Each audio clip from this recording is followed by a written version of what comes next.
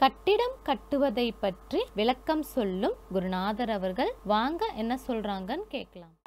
வாங்கியது ஆயிரத்தி நூறு ஏக்கர். செலவு செய்து ரெண்டு லட்சம். கடைசியில் ஒன்றுமில்லாமல் அப்படியே தடைப்பட்டு நிற்பது கா- பார்த்திருக்கிறோம்.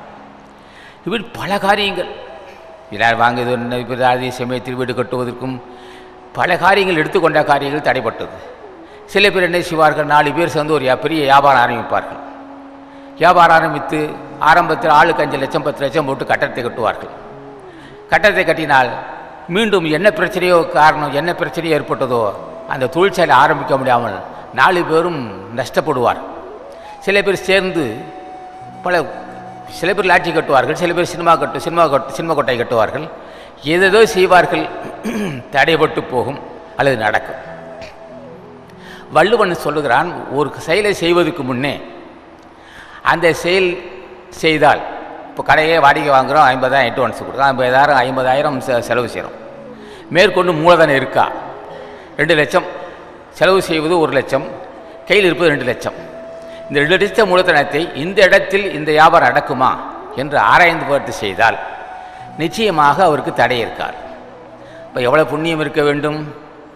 ஒரு தொழிலை ஆரம்பிப்பதற்கு முன்னே அது தன்மையை முன்னுமே புரிந்து கொள்வது எவ்வளவு பெரிய அறிவளிக்க முடியாது.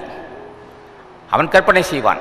இப்படி செய்தால் தினம் மாதம் ஒரு ஐயாயிரம் வரும் பத்தாயிரம் வரும் அதை அப்படி செய்யணும் இப்படி செய்ய கற்பனை செய்யலாமே தவிர காரியம் நடக்காது.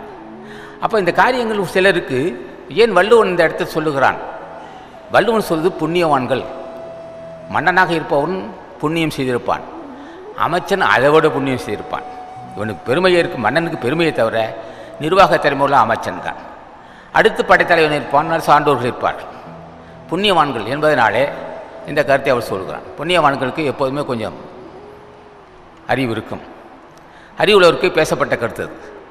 யாராக இருந்தாலும் சரி அறிவுக்கும் செயலுக்கும் சம்பந்தம் இல்லை. அறிவு ஞானிகளை பூஜை செய்தால் ஏற்பட்ட அறிவு. ஆனால் காரியங்கள் நடக்கிறதுக்கு காரியங்கள் தடையெல்லாம் நடப்பதற்கு புண்ணியம் வேண்டும். அறிவு இருந்தால் போதுமா? புண்ணியம் இருக்கணும் அல்லவா மிகப்பெரிய அறிவு இருக்கும். வியாபாரத்தை பற்றிய அறிவு மிகப்பெரிய அறிவு இருக்கும். வியாபாரம் நடக்காது காரியம் தடைப்பட்டு போகும். ஆக அந்த அறிவு பயன்பாடு புண்ணியம் சேர்ந்து இருக்க வேண்டும்.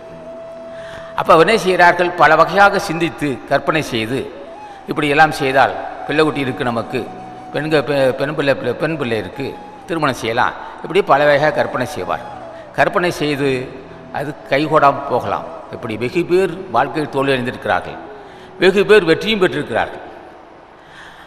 ஆக எந்த காரியத்தை எடுத்தாலும் இயற்கையின் அமைப்பு அவருக்குள்ள அமைப்பு புண்ணியங்கள். அவருடைய புண்ணியத்தை அடிப்படையாக தான் இருக்கு. இல்லை என்றால் எதெல்லாம் செய்யக்கூடாதோ அதை செய்து நஷ்டப்படுவார். ஆசானது அருளுரைகளை தொடர்ந்து கேட்க அரங்கர் டிவிக்கு லைக் பண்ணுங்க சப்ஸ்கிரைப் பண்ணுங்க. மறக்காம பெல் பட்டனையும் கிளிக் பண்ணுங்க.